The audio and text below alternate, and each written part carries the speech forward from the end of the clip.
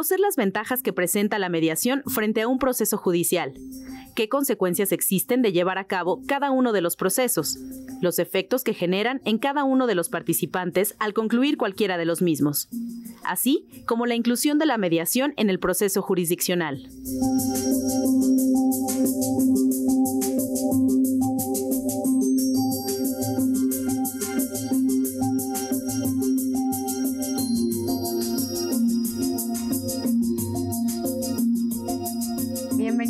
A nuestro último programa de la serie El Mirador, denominado La mediación en el proceso judicial. El día de hoy nos acompañan el magistrado doctor Augusto Pérez Juárez, magistrado del Tribunal Superior de Justicia del Distrito Federal. Muchas gracias por venir. Al contrario, Paola, muchas gracias. Muy buenas tardes. Buenas tardes. El maestro Miguel Ángel Alvarado Fonseca, mediador civil mercantil del Centro de Justicia Alternativa del Distrito Federal. Gracias por acompañarnos. gracias por la participación. Para Mirador Universitario es muy importante su participación. Los invitamos a que se comuniquen con nosotros a las vías que aparecen en pantalla. Les platico que durante los programas que hemos visto ya hemos platicado sobre la mediación, sus generalidades, los métodos alternativos de solución de controversias, la mediación civil, mercantil, la mediación familiar, la mediación penal y de justicia para adolescentes. Y el día de hoy la intención es darle a conocer a nuestro público cómo está afectando o beneficiando la mediación dentro del proceso judicial. Antes de continuar platicando, me gustaría invitar al público y a ustedes a ver una entrevista que hicimos con el presidente del Tribunal Superior de Justicia del Distrito Federal, el doctor Edgar Elías Azar. Vamos a verla.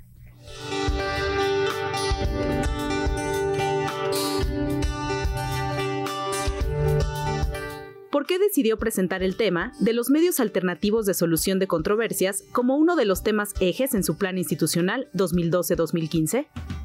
Hemos visto con una enorme preocupación el crecimiento de los asuntos en todos los tribunales.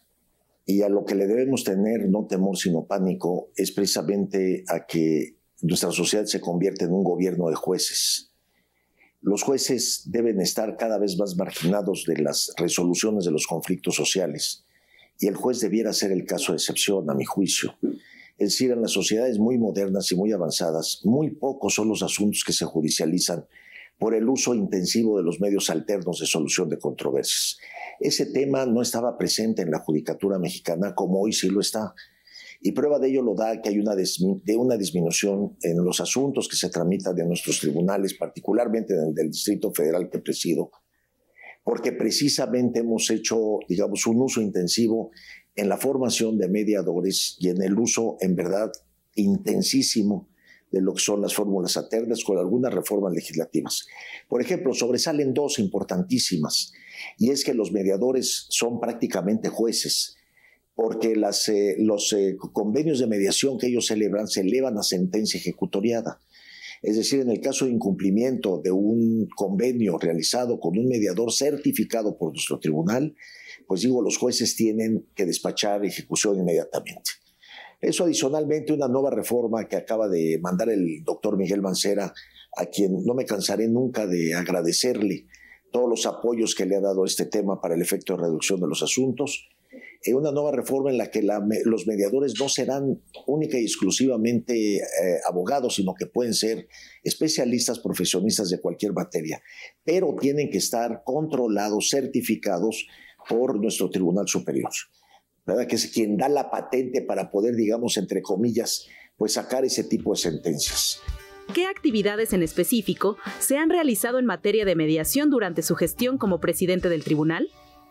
Varias acciones. Mire, la primera de ellas, para empezar, algo elemental, construir un edificio enfrente de donde está la principal fuente generadora de los problemas judiciales, que es precisamente en este tribunal, a donde están alojados los juzgados civiles y el edificio que está a espaldas de este tribunal, donde también están alojados los juzgados civiles.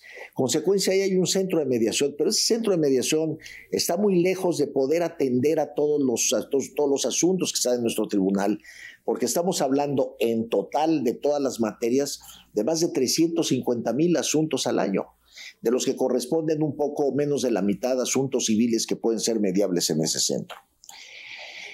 Y en consecuencia, pues digo, ya nos acercamos al, foco generador de los problemas y lo que hicimos fue sacar, hacer que los, que los asuntos llegaran, pero fuera del centro de mediación, con, con mediadores que nosotros pudiéramos certificar, que tomaran un curso, que los capacitáramos y que tuvieran control esas patentes que estamos expidiendo después de haber tomado un curso de más de 100 horas. Y en consecuencia, pues digo, formamos formadores, formamos mediadores que son los que están en la calle mediando. Y así el tribunal pues no carga con el peso de miles de asuntos que ya se han mediado y que no han llegado ya a nuestros tribunales. Ese es un esfuerzo primario. Un esfuerzo secundario, digamos, no, tan no menos importante que el primero, resulta toda la influencia que hemos ejercido nosotros en los eh, tribunales de la provincia mexicana. Y así nuestros tribunales hermanos pues han recibido capacitación eh, de, la experiencia que nosotros hemos tenido aquí, eh, les hemos capacitado a sus centros de mediación y sobre todo hemos recomendado e insistido en que los convenios de mediación tengan la fuerza de sentencia ejecutoriada y por el otro lado hemos recomendado mucho que el mediador salga a buscar el problema, no espere que el problema llegue al tribunal. Y con esas dos acciones ha sido muy exitoso. Nosotros hemos recibido también capacitación, eh, bueno, capacitación, hemos reunido, nos hemos reunido para intercambio de experiencias con algunas entidades federativas y en fin, hemos todo el país caminado junto dentro de la Comisión Nacional de Tribunales que presido.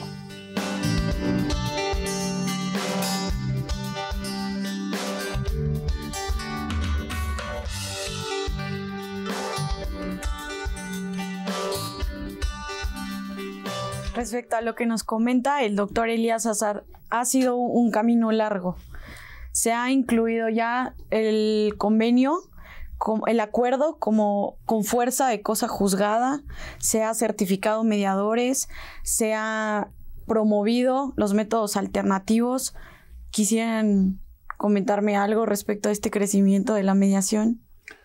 Bueno, en primer lugar hay que recordar que efectivamente ha sido un camino, un camino largo, pero muy fructífero, muy fructífero. Ya se ha adelantado la mediación como un mecanismo exitoso de solución de controversias en donde eh, la participación del Poder Judicial es eh, marginal. Y me refiero al aspecto marginal en, en cuanto a la intervención misma del Poder Judicial. ¿Por qué digo esto? Bueno, en primer lugar, porque la mediación se da entre las partes mediante soluciones que ellos mismos construyen, que ellos mismos encuentran y que por lo tanto son soluciones óptimas a su problema. A diferencia del de órgano jurisdiccional cuando actúa como juzgador y en el proceso jurisdiccional, prácticamente viene una pretensión y una resistencia. Yo lo podría ejemplificar como un choque de trenes. Un choque de trenes en el cual, como todo choque, nadie sale ganando, sino prácticamente todos salen perdiendo y en ocasiones uno ganando y uno perdiendo. Y se da el síndrome del ganador perdedor. En tanto, eh, eso es algo que no se da en la mediación, afortunadamente. Yo diría que es eh, una situación de coadyuvancia, de sinergia, de construcción conjunta de parte de quienes intervienen en la mediación.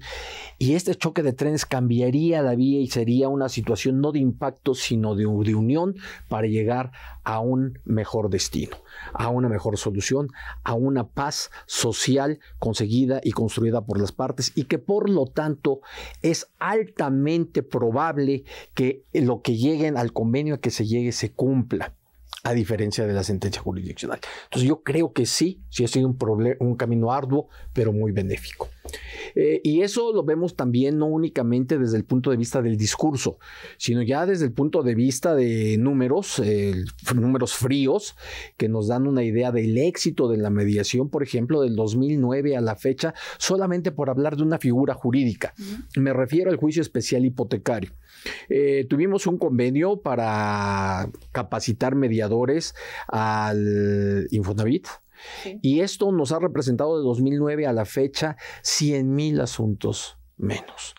Si comparamos esos 100 mil asuntos menos en este lapso, pues vamos a percatar que ha despresurizado al sistema judicial mexicano y específicamente al sistema judicial del Distrito Federal.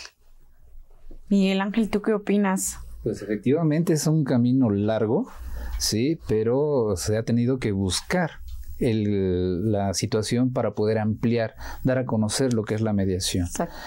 En el 2013 comenzó con materia familiar y debido al buen resultado que se ha obtenido, entonces se abrió civil mercantil, que es un poquito más amplia la materia, y posteriormente surgió la materia penal y justicia para adolescentes. Entonces, viendo efectivamente, como comenta aquí el doctor, de que muchos asuntos no han llegado a juicios ¿Por qué? Porque muchos asuntos son susceptibles de ser mediables. Entonces se le hace ver eso a la persona, retomando los convenios. Los convenios a los que han llegado lo que se busca es que ellos mismos propongan la forma de cómo solucionarlo, porque es a lo que se pueden comprometer. Entonces, en eso también radica mucho la efectividad de los convenios que nosotros elaboramos, porque ellos son los que dan la propuesta y la solución, no el mediador. El mediador únicamente los va a encaminar, los va a guiar. ¿Sí? ¿Por qué? Porque el mediador no va a cumplir lo que ellos van a proponer. Entonces, esa es también otra ventaja, porque también se está trabajando con la persona, ¿sí? no con documentos. Entonces se atiende a, intereses y necesidades. Y eso la gente lo ve bien. ¿Por qué? Porque se sienten escuchados, se sienten atendidos como personas. Entonces, adminculando esto con el resultado que hemos tenido, entonces esto se ha ido ampliando y sí nos ha costado trabajo, porque ahora, bueno, tan es así de que ya, como el señor presidente mencionó, ya tenemos un edificio, ya tenemos un inmueble. Y entonces a esto hay que darle un poquito más de impulso, pero hacerle ver la conveniencia a la gente de que lo mejor en muchas de las situaciones es la mediación y no irse a un proceso de un juicio. Sí, claro, no es lo mismo llegar a un acuerdo por la voluntad de las dos partes que llegar a una sentencia donde te dicen te toca pagar, te toca cumplir y la otra parte no, no lo acepta, ¿no? Magistrado, Augusto, ¿qué lineamientos se siguen dentro del tribunal para hacer conocer a las personas que acuden a juicio que existen estos métodos alternativos de solución de controversias? Bueno, uno, obviamente, de carácter de sociabilizar el aspecto de la mediación, es decir, se le da difusión al centro de mediación pero sobre todo algo que no debemos perder de vista es la penetración de este nuevo sistema o de esta nueva forma de resolver controversias que se pueda eh, amplificar. Definitivamente los recursos del tribunal, como todos lo saben, son limitados y finalmente la demanda de servicios de administración de justicia pues son crecientes, son crecientes. No podríamos seguir eh, incrementando el número de mediadores porque el tribunal no tendría la capacidad para poderlo hacer. Ante eso se encontró una fórmula muy exitosa en el tribunal. ¿Cuál fue esa fórmula muy exitosa en el tribunal? Ser formador específicamente de mediadores. Y esta fórmula nos ha resultado benéfica. Ya adelantaba en, hace un momento, eh, por ejemplo, el convenio de formar mediadores en materia de Infonavit que perdió, eh, evitó que muchas personas perdieran su casa. Pero también a nivel delegacional, por ejemplo, se capacitan mediadores. A nivel ya tenemos algunos notarios del Distrito Federal que son certificados como mediadores. Es decir, en los diferentes ámbitos de actividad, en los operadores jurídicos que pueden intervenir, pues el ideal es que se les capacite se les certifique que tienen la capacidad eh, profesional necesaria para poder cumplir dignamente y sobre todo eficientemente este papel y poder arribar a soluciones eh, adecuadas. Entonces, eso es como se ha dado desde el punto de vista de sociabilización.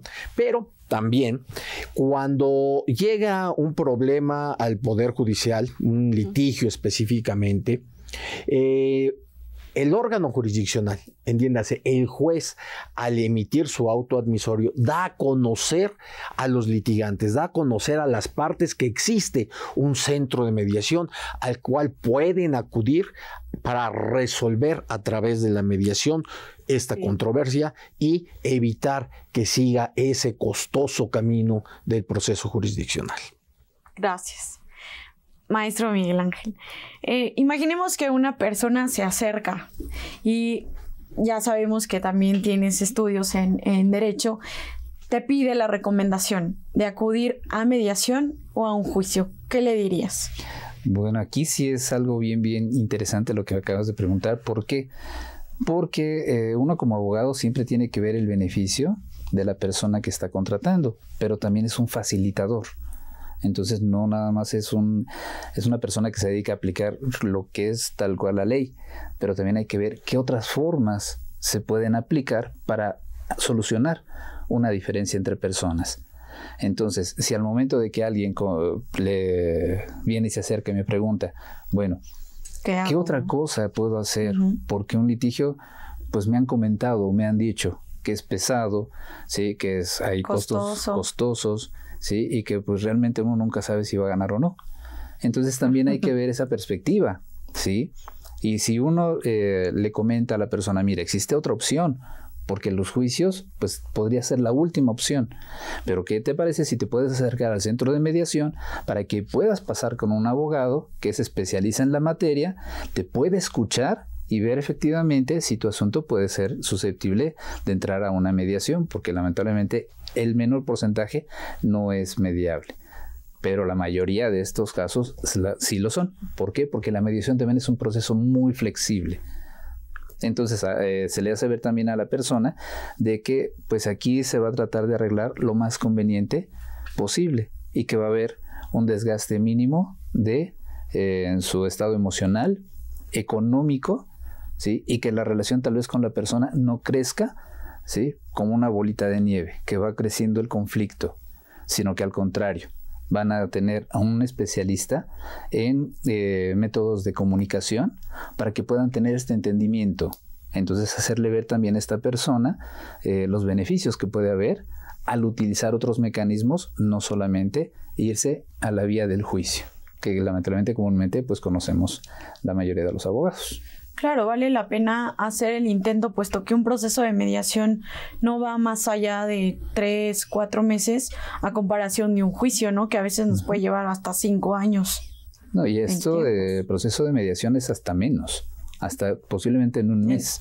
¿sí? Maravilloso. Esto debido al trabajo de sensibilización que se hace con los mediados. Entonces, cuando se tiene la primera entrevista, que es la premediación, entonces ahí ya se comienza a trabajar los beneficios ya de manera más concreta y hacerles ver eh, o cambiarles de perspectiva que efectivamente su asunto puede tener otro, eh, otra salida muy distinta y que puede ser satisfactorio para ambos. Entonces también eso se le tiene que explicar a la persona, ¿sí? Que se acerca a preguntarle, pues como a cualquier abogado. ¿Sí? Porque te digo, muchos asuntos que están en los juicios, en los juzgados, eh, tendrían que estar en mediación. O es más, ni siquiera tendrían que haber llegado a un juicio. Y respecto a este tema de sensibilización, ¿qué sentimientos, emociones se han percibido en las personas que acuden a un juicio y las personas que acuden a una mediación? ¿Qué diferencia hay? ¿Hay algún manejo de emociones, sentimientos durante un juicio? Bueno, como lo señalaba yo hace un momento también, eh, desafortunadamente en un conflicto de un litigio del proceso, pues siempre hay quien gana y quien pierde. Y ya lo adelantabas, efectivamente sale el ganador, bueno, pues con el aliciente de que se le ha dado la razón, porque la tiene, pero la otra parte que sale desangelada finalmente, el hecho de estar condenado, pues no es nada grato.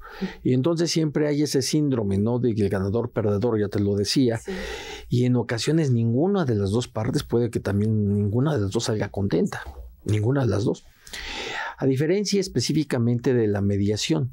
En la mediación, al ser una justicia entre las mismas partes, una justicia voy a utilizar el término en la mejor medida, una justicia democrática, en la que interviene la sociedad misma y ellos se sienten partícipes de la solución, ya lo apuntaba el maestro específicamente, quienes dan la solución son ellos. No es una solución impuesta. Quien sabe la posibilidad de, de cumplimiento son precisamente ellos. Y en función de eso, un altísimo porcentaje un altísimo porcentaje de esas soluciones, de esos convenios, ni siquiera llegan a la etapa de ejecución porque son cumplidos, se cumplen puntualmente. Y solamente como excepción y un número, un porcentaje eh, menor, eh, diría yo mínimo, es el que tiene que llegar a la etapa de ejecución forzosa, pero esa es la excepción afortunadamente y no la regla. Eh, independientemente de que evidentemente al ser un procedimiento ágil la mediación, el proceso jurisdiccional se ha tornado cada día más ágil. Ya creo que no podríamos estar hablando de unos tiempos tan, largos, pero independientemente de eso, la mediación es todavía más rápida, menos costosa menos desgastante y un convencimiento pleno de una solución concertada. ¿Entre quién? Entre nosotros mismos y no por un tercero ajeno. Porque efectivamente, como lo dice el maestro, el mediador es un facilitador meramente, con muchas capacidades y muchas habilidades que permiten precisamente poner en sincronía y en la misma frecuencia las partes para poder arribar a convenios que se cumplen. Y como mediador, ¿cómo se siente llegar a un acuerdo donde las partes construyen este acuerdo, donde están satisfechas? ¿Cómo se vive? Fíjate que es una situación, una recompensa, sí, mucho, muy gratificante. ¿Por qué? Bueno, primero eh, tienes que tener bien, bien establecido el concepto de ¿para qué estás ahí? Eres un facilitador. Lo que tú buscas es ayudar a la gente ¿sí? en sus problemas. Y si eh, esta, el resultado de esta ayuda se convierte en un convenio, ¿sí? la gente se va muy satisfecha. Y ese es un pago que te juro que no tiene precio. Porque incluso cuando, termina, cuando terminamos las sesiones y lo cerramos, la gente se va agradecida. Y tú sientes ah. cómo hasta en la mano te agarran y hasta te aprietan y te dicen gracias. ¿Por qué? Porque es lo que te comento, se trabaja con la persona, con sus intereses y necesidades. Y además de que, bueno, como somos facilitadores, no juzgamos. Entonces eso también le presenta una gran confianza a la persona porque se siente en un lugar seguro. Y entonces es cuando se abren. ¿sí? Y es cuando nosotros comenzamos a manejar todo lo positivo. ¿sí? Entonces la gente, eh, cuando ya se llevan su convenio, ¿sí? Hay unas unos formatitos que tenemos para calificar nuestro trabajo. Te juro que se pone, que ponen eh, cosas bastante, bastante agradables y nos dan mucho, mucho su agradecimiento. ¿sí? Lo que lamentablemente en un juicio, pues hay ganador, hay perdedor. Pues no, no es muy difícil que se dé. Pero con nosotros, afortunadamente, sí es muy gratificante ver el resultado plasmado en un documento, pero en un documento que ellos mismos propusieron su contenido y que debe reflejado su voluntad y su decisión y que es respetado. En resumen, en esta cuestión respecto a las ventajas que presenta la mediación frente a un proceso judicial, vemos la satisfacción de las partes, menos costo, eh, más eh, ayuda emocional, más control emocional. ¿Qué otro tipo de ventajas me podrían comentar? En tiempo, costo, emocional. Bueno, definitivamente en costos se abate. Eh, siempre la justicia, la justicia en México es gratuita. Constitucionalmente sabemos precisamente que la justicia es gratuita, pero no es nada barata. La justicia lleva insumos humanos, insumos materiales muy, muy caros. Y, creo que, como se apuntaba por el señor presidente, creo que finalmente lo que debe llegar al, conocimiento del tribunal deben ser los asuntos por excepción. El grado de litigiosidad debe disminuir. Eh, la sociedad misma debe construir sus respuestas, debe encontrar sus soluciones. Eh, y como excepción, como garantía, está el proceso jurisdiccional. Decía ya eh, cuáles ventajas. Bueno, pues la ventaja es de salir con soluciones. Efectivamente sales con un convenio, pero ese convenio refleja una solución. Es un problema menos, una carga menos para también para los contribuyentes, una carga menos para el tribunal, pero sobre todo paz social con convencimiento. Eso es fabuloso. Yo creo que eso es lo más importante. Otra de las ventajas que me estaba acordando ahorita es hacer que las partes sean responsables de su situación, ¿verdad? Sí, efectivamente, hacerlos, eh, llevarlos al espacio de cuál es su corresponsabilidad en su asunto para que de ahí ellos vayan viendo, bueno, efectivamente, qué tanta participación yo tuve para poder estar aquí. Y estamos hablando que no nada más eh, pueden ser personas morales, ¿sí? Pueden ser personas físicas, de los dos. Pero fíjate también un dato curioso, de que vienen personas que obviamente no son abogados y solicitan el servicio por recomendación de otros abogados, ¿sí? Pero también han, han llegado abogados que van a cobrar sus honorarios. ¿Sí? Entonces, ¿qué pasa? Efectivamente, esto les está representando un eh, ahorro de tiempo, ¿sí? Y un desgaste. Hay que ofrecer pruebas, hay que estar yendo audiencias en un proceso de un juicio. Y con nosotros no. Entonces, fíjate que aquí ya dan es así la apertura en cuanto al abogado, que hasta ellos mismos van a hacer uso para hacer el cobro de sus honorarios. ¿Sí? y con las personas físicas, bueno, con cualquier usuario, pues también representa este costo-beneficio. ¿sí? Porque para el tribunal es un costo llevar un proceso de un juicio. ¿Cuántos juicios hay en un juzgado? ¿Cuántos juzgados son? Entonces, imagínate, en un proceso de una mediación, te estamos hablando, estamos hablando de dos o tres sesiones, ¿sí? De dos horas.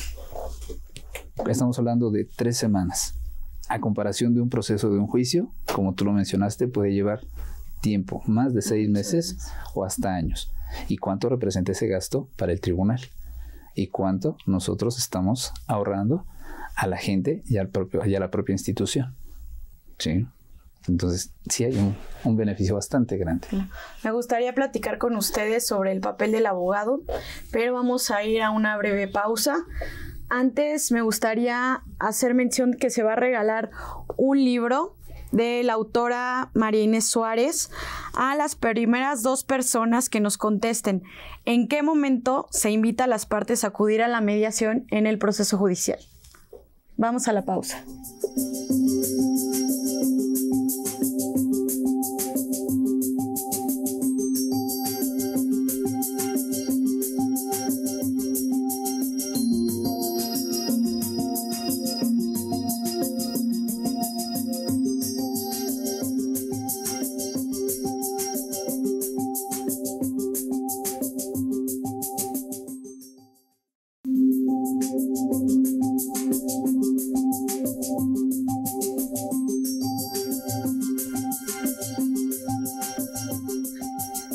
Agradecemos que continúen con nosotros y les recordamos que estamos transmitiendo en vivo desde las instalaciones de la CUAED en la UNAM.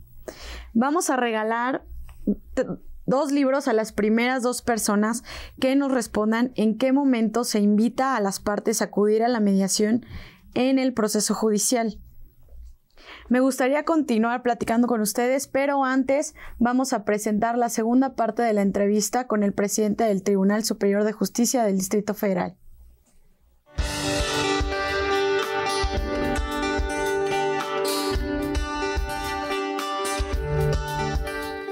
¿Qué retos representa la mediación hacia el futuro para el Tribunal Superior de Justicia del Distrito Federal? Bueno, es, es, una, es una esperanza el, el, tema de la mediación. En el tema de la mediación nunca debemos estar satisfechos. Siempre debemos estar trabajando para intensificarla y para que esté cada vez presente en todos los litigios. Veamos, por ejemplo, en el tema de los acuerdos reparatorios que hoy están presentes en la parte penal, en la parte del sistema penal cómo pues han descendido los asuntos en más de 600 asuntos en menos de mes y medio que antes hubieran tenido que judicializarse.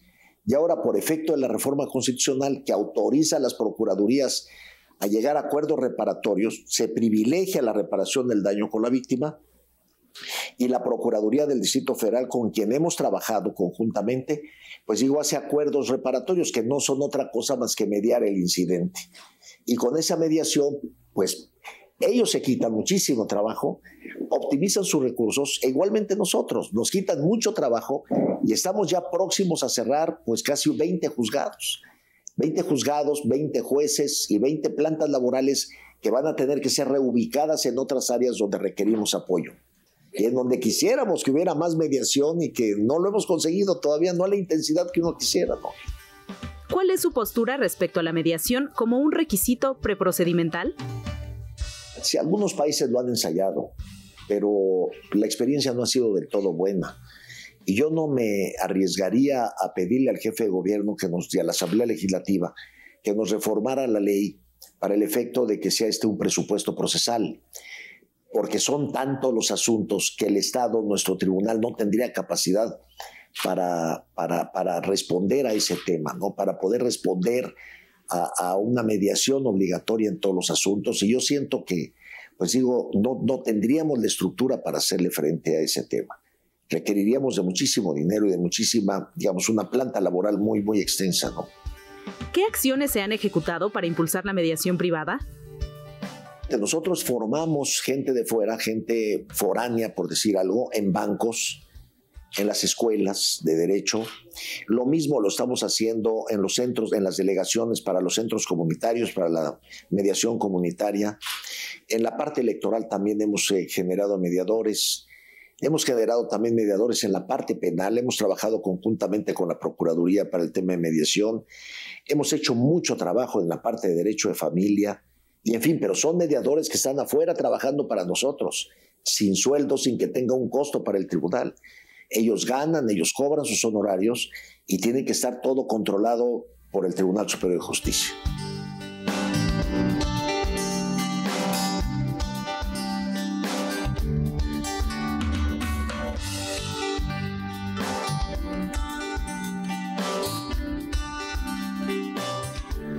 Hemos regresado. Me gustaría saber un poco más del papel del abogado ¿Qué, pasa con el abogado? ¿Qué papel debe jugar cuando en el auto admisorio se, dice, invita a las partes a acudir a la mediación? Porque a veces el abogado siente que va a perder un cliente. No, no, no les lee el auto admisorio a sus clientes, no les dice nada. ¿Qué, qué papel debe jugar? Fíjate que ahí hemos tenido gratas sorpresas. ¿Por qué? Porque muchas veces los abogados cuando son eh, representantes de empresas lo que buscan es la celeridad, ¿sí? Entonces eh, han llevado sus asuntos con nosotros, los propios abogados. Entonces ahí no están perdiendo credibilidad en cuanto a su trabajo. Al contrario, si yo como empresa requiero los servicios de un abogado, yo lo que necesito es que genere ingresos, ¿sí? ¿Qué pasa eh, si van al proceso de mediación? Durante el proceso de mediación, como vemos que es una situación muy, muy corta, entonces en ese lapso de tiempo puede haber un arreglo y pueden sacar un convenio. Y de mientras ya está generando ese abogado ingresos a su representada. A diferencia de un juicio, ¿cuánto tiempo lleva un juicio? ¿Sí?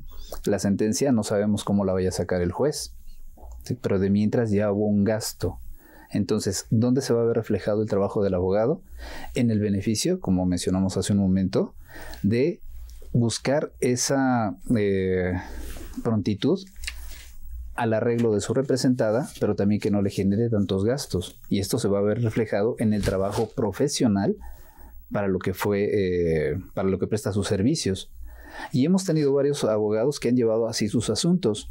Incluso tenemos ya unos formatos en los que aparecen varios eh, invitados, les hacemos listas y ellos ya van y entregan las invitaciones. Entonces ya nos agarraron a nosotros eh, como ese, esa tabla para impulsar ¿sí? el trabajo que se acorte y se vea beneficiado su representada. Entonces ya no se van a un proceso tan largo, son asuntos que disminuyen para juzgados y el resultado es pronto y afortunadamente con muy buenos resultados. Entonces el abogado nunca se le va a hacer a un lado. También la propia ley de justicia alternativa establece que el abogado puede dar asesoría a su representado o a la persona que esté dentro del proceso. Esto puede ser al final de cada sesión, porque no son audiencias. Aunque estemos en el propio tribunal, cada uno tiene su propio mecanismo. Con nosotros son sesiones. Y obviamente los juzgados son audiencias. Entonces con nosotros en la sesión no se requiere la asesoría del abogado, porque para eso está el mediador que es una de sus características, ser abogado. Entonces nosotros tenemos que cuidar siempre el área eh, que nos establece la norma para que los acuerdos y los convenios se ajusten a lo que establece nuestro derecho, porque precisamente el menor porcentaje se van a la ejecución, pero tenemos que cuidar esa formalidad porque el juez tiene que checarlo, porque no puede ejecutar algo que es inejecutable. Entonces, la participación del abogado siempre va a estar ahí. Y como lo mencionamos, si él va y lleva su cartera de clientes, el proceso de mediación le ha resultado mejor que irse a un proceso de un juicio. Claro, como nos dice el doctor Elías Azar, no debemos judicializar México, sino como abogados demostrar una mejor calidad profesional y cómo es cómo sería pues acudiendo a este tipo de métodos alternativos, ¿no? Porque como abogados estamos para resolver el conflicto, no para hacer que las controversias sean más largas. Eh, tocas un punto muy importante, Paula. Eh, allí eh, la situación de los diferentes operadores que intervienen. creo que tradicionalmente, cuando menos en el siglo pasado, las escuelas de derecho siempre han tomado una especial especial cuidado en la formación de litigantes. Eh, de tal suerte que salen eh, abogados combativos, abogados con un alto grado de litigiosidad. Yo creo que esa visión ya debe ser superada y afortunadamente la nueva visión del abogado es un abogado en donde va a primar el aspecto social. Eh, si mal no recuerdas, todos cuando protestamos, específicamente cuando obtuvimos el grado de licenciados en Derecho, que nos da la posibilidad de desarrollar esta hermosísima profesión, nos comprometimos a ver por los intereses de nuestros clientes quienes se dedican al litigio. Eh, en ese punto, el ver por el cliente es qué es lo que le beneficia al cliente. Ya lo apuntaba el maestro específicamente, encontrar soluciones. Eh, al cliente no le interesa tanto los aspectos de las doctrinas jurídicas, las tesis que brillantísimas que se pueden dar, etcétera. Le, le interesa la solución a su problema. Y cuando esa solución es constructiva, cuando esa solución se obtiene por ellos mismos y cuando eso es facilitado por los propios especialistas en materia jurídica, pues creo que la situación es eh, bastante positiva. Por eso las, escuelas, las universidades actualmente creo que debemos de vigilar, debemos de eh, convencernos que hay que privilegiar específicamente la solución de controversias a través de las vías alternativas, a través de la mediación que hoy por hoy nos ha funcionado también en el Distrito Federal, también nos ha funcionado, que ha sido punta de lanza. En, podemos decir que actualmente hay ya 20, las 29 entidades federativas tienen mediación y de ellas 26 ya la tienen reflejada a nivel legislativo. Entonces, eso marca la pauta. No creo que vamos por ese nuevo derrotero y finalmente ese es el camino que debemos avanzar en el siglo XXI. ¿Qué, ¿Qué, propuestas tendrían de la mediación dentro del proceso judicial? Fíjate que eh, la mediación, una de sus características es que de preferencia, pues antes de que inicie un juicio. pero la propia ley nos da la posibilidad de que el propio juzgador, si ve la flexibilidad de las partes, los puede mandar a mediación. Entonces podemos intervenir. En cualquier etapa. En cualquier etapa. Entonces podemos eh, hacer uso de este servicio aun cuando ya haya un juicio. Y otro beneficio es que si las dos partes aceptan el servicio de mediación, el proceso del juicio se suspende hasta por dos meses para que no corran términos. ¿Sí? Porque son términos, como lo llamamos nosotros, términos fatales. Entonces, ese es otro beneficio. Aunque afortunadamente no, hay mediación muy, muy raro, es un proceso que llevemos de dos meses. Lo solucionamos, afortunadamente, con el apoyo de ellos antes. ¿Ustedes se dan cuenta cuando una de las partes quiere dilatar el juicio acudiendo a la mediación? ¿Qué, qué pasa en este caso? Bueno, ahí nosotros no fungimos como juzgadores nosotros facilitamos y ya de, ellos depende el que se pueda llevar a cabo este proceso, porque como remarcamos, ellos son los que dan la solución, pero es una solución negociada y motivada. ¿sí? Entonces ellos ven el beneficio, se les presenta su convenio y se les explica que lo tienen que presentar ante el juzgador.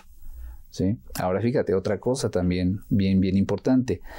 Aun cuando ya se haya dictado una sentencia, nosotros podemos intervenir pero no para modificar la base de esta que te estoy hablando, de a quién fue condenado, sino únicamente al cumplimiento, para que se facilite ¿sí? Eh, que, que su ejecución pues sea también más segura. Por ejemplo, un pagaré en el segundo resolutivo que nos pone el juez y se le condena a la parte demandada al pago de tal cantidad en el término voluntario de cinco días.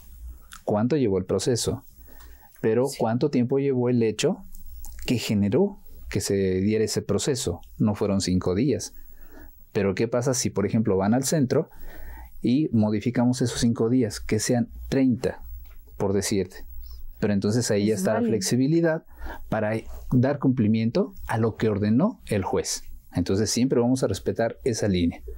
¿sí? Entonces también ese es otro beneficio de estos convenios y de la aplicación de la mediación. Hasta la sentencia se puede mediar. También.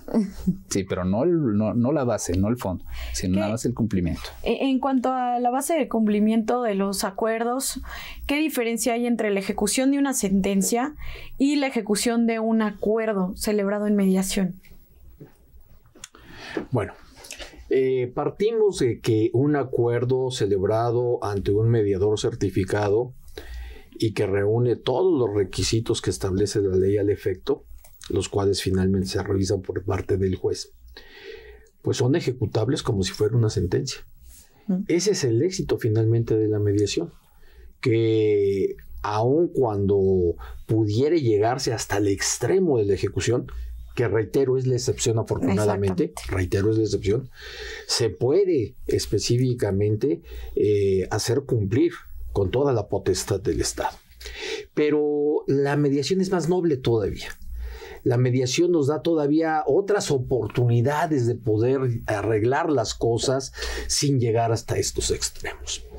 Específicamente cuando hay un incumplimiento ya total, ya parcial, se puede dar la remediación y eso creo que es importantísimo, es decir, no he podido cumplir por X o Z circunstancia, vamos a volver a, reunirnos para mediar y encontrar alternativas constructivas de la solución de esta controversia, pero ¿quiénes las vamos a encontrar? Nos vamos a encontrar nosotros, de tal suerte que son situaciones para que se cumplan, pero finalmente la puerta de la ejecución forzosa está allí porque existe y permite que esto tenga seguridad, o sea que no solamente quede en, el peor de los casos en letra muerta, sino que se haga efectiva. Sin embargo, creo que eso no es lo atractivo de la, de la mediación. Sí, y eso hay que dejarlo perfectamente claro. Yo diría eh, finalmente que ha sido un sistema tan bueno y que los abogados lo debemos de ver de manera constructiva, que al día de hoy existen en la Ciudad de México 244 mediadores de la cual el amplio porcentaje o un gran porcentaje son mediadores externos, mediadores privados, que han facilitado la resolución de controversias, que han llegado a convenios y que específicamente se cumplen. Se cumplen por los, o voluntariamente, la gran mayoría de las veces, o se cumplen coactivamente con toda la fuerza del Estado. En cuanto a la remediación, eh, ¿se refiere nada más a la parte del acuerdo? ¿Se regresan un poco a la controversia, lo que se trató durante la mediación? ¿O en qué versa la remediación? Fíjate que eh, cabe eh, mencionar que hay acuerdos verbales y acuerdos por escrito. Los dos son susceptibles de ser, de entrar a la remediación. Ah. Ahora, si es, por ejemplo, escrito, muchas veces pueden eh, haber factores ajenos a la persona que van a influir en el no cumplimiento en su totalidad o parcialmente, ¿sí? Pero se toma ya como base lo que ya se haya trabajado. Eh, no resulta muy, muy factible el regresarse porque entonces no avanzaríamos, ¿sí? Pero entonces sí se toma como base el acuerdo al que se llegó. Ok. ¿sí? Y entonces ahí ya trabajamos el por qué no se cumplió parcial o totalmente, ¿sí? Y pueden haber y se generan nuevas opciones. Esto se puede hacer las veces que ellos lo deseen. En cuanto a temas de mediación, ¿es mediable eh, situaciones, mm, casos internacionales, disolución de sociedades? ¿Son mediables? Sí, sí, sí. Eh, nada más que hay que cuidar un poquito lo que nos establece la propia ley. Por ejemplo, en la disolución de sociedades, eh, la Ley General de Sociedades Mercantiles nos establece ciertos requisitos ¿sí? para poder llevar a cabo una asamblea ordinaria, por ejemplo. Entonces, en ese sentido, nosotros no podríamos llevar a cabo una asamblea porque no somos el domicilio ¿sí? idóneo, social, para llevar a cabo esto. Pero sí les podemos ayudar a que ellos mismos hagan o generen el orden del día, sobre lo cual ellos ya están de acuerdo van a trabajar esos puntos y es lo que van a plasmar en su asamblea ordinaria o extraordinaria. Entonces aquí hacemos flexibilidad ¿sí? de la mediación y ajustamos a lo que nos establece la ley, pero todo en el marco de la legalidad. Y en cuanto a lo que es... Eh, Personas de diferentes nacionalidades pueden acudir a la mediación. Sí, fíjate, una característica de lo que es la servicio de civil mercantil es que no aplica, no tenemos un mínimo o un máximo del monto para conocer pero también la ley no nos prevé situaciones de que nada más vas a conocer de, del Distrito Federal por los asuntos del Distrito Federal. No, podemos eh, conocer de toda la República. ¿sí? Hemos mandado invitaciones a, por ejemplo, a Tijuana o a Mérida y la gente viene, se acerca. Entonces, la ley no nos limita en cuanto a una nacionalidad. Si es su voluntad someterse al proceso de medición que brinda la institución, adelante, bienvenidos. Y ya las características las vamos a plasmar dentro del acuerdo. ¿Sí? Por ejemplo, si los bienes están fuera de México, entonces ahí ya nos tendríamos que apegar un poquito a lo que es la vía exhorto, pero ya mediante un juez, un juez, perdón. Un juez. Sí, porque eso ya es función de él. Y ahí pues ya se vería lo que es una carta rogatoria, cómo se puede llegar a hacer llegar por medio de la de la Secretaría de Relaciones Exteriores y eh, en específico al juez de la localidad. Pero ahí ya es otro proceso que ya va vinculado con el juzgador. Me, gustaría ir concluyendo, estamos a punto de finalizar el programa. ¿Cómo perciben ustedes que la mediación ha impactado en las actividades del tribunal? Bueno, ha impactado desde varias perspectivas. Uno, evidentemente, eh, desde la disminución de los asuntos que llegan al órgano jurisdiccional para efecto de solucionarlos la vía, tradicional del proceso. Ese es uno. Eh, evidentemente eh, ha dado presencia del tribunal a nivel no solamente del Distrito Federal, sino a nivel nacional e internacional. la mediación en el Distrito Federal ha tenido tal éxito a través de esta fórmula de replicar el modelo y de no asumir nosotros directamente los costos que no tendríamos la capacidad como se apuntó que hace dos años y la memoria no me falla eh, recibimos por parte del gobierno español un reconocimiento eh, de cómo ha venido funcionando la mediación entonces yo creo que eso habla bien de cómo ha venido impactando positivamente eh, la mediación en el Tribunal Superior de Justicia y en el sistema jurídico mexicano. El punto es que no desvirtuemos la mediación. Ya se apuntaba y a nivel de que nos acercamos prácticamente al final de la charla, ya se apuntaba de que si sería conveniente el, impulsar la mediación como obligatoria en, el, en, la legislación.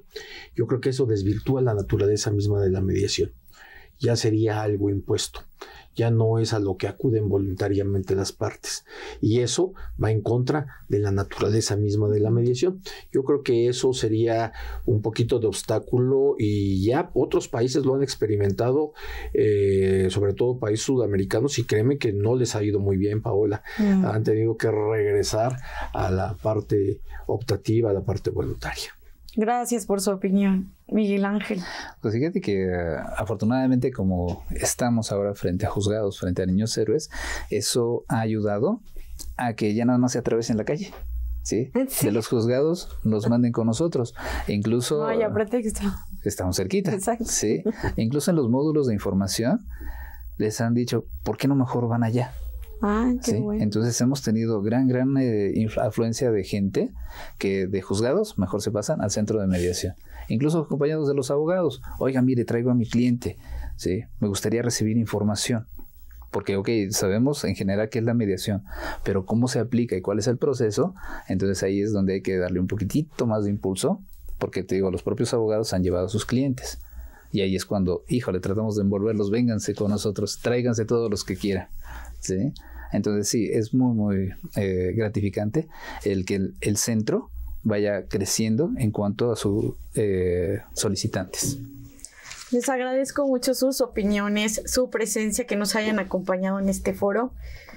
Hemos terminado el programa. Mm. Me gustaría también agradecerle al público y los acompañamos a que vean esta serie El Mediador en Media Campus UNAM, que ahí van a subir todos los programas Y vamos a cerrar el día de hoy con una cápsula del licenciado Baden García Mendoza, catedrático de la Facultad de Derecho, sobre la mediación como requisito procedimental. Muchas gracias.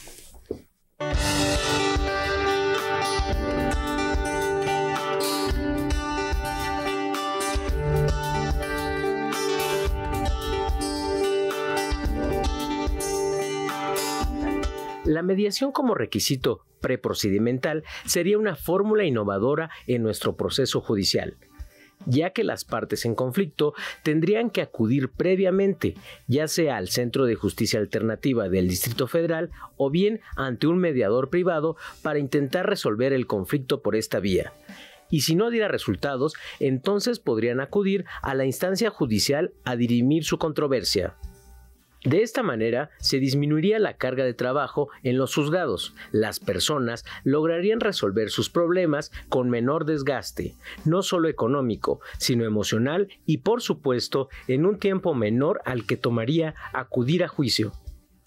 Desafortunadamente, vivimos en un país judicializado, en el que no se conocen los métodos alternativos de solución de controversias y por ende el conflicto siempre se resuelve a través de instancias judiciales. Pero ¿qué pasaría si el método alternativo, que es la mediación, no fuera alternativo y fuera parte del proceso? Una parte importante de la estructura destinada a juzgados podría convertirse en estructura destinada a resolver conflictos a través de la mediación, con personal certificado altamente capacitado y sensibilizado para resolver las necesidades de las personas. A través de la mediación familiar se han llegado a resolver con acuerdo el 89% de los casos presentados, en materia civil mercantil el 90%, en materia penal el 76%, lo que ha logrado que los juicios contenciosos disminuyan en gran cantidad. Por otro lado, países como Italia, Francia y Argentina han incluido la mediación como un paso previo al litigio y han logrado disminuir con efectividad el porcentaje de juicios. Falta que en México se impulsen este tipo de mecanismos, se den a conocer a la población, se incluya como materia obligatoria en los programas de estudio de la carrera de Derecho de nuestras universidades, porque como sociedad debemos fomentar una cultura de paz. Licenciado Badén García Mendoza, catedrático de la Facultad de Derecho de la UNAM.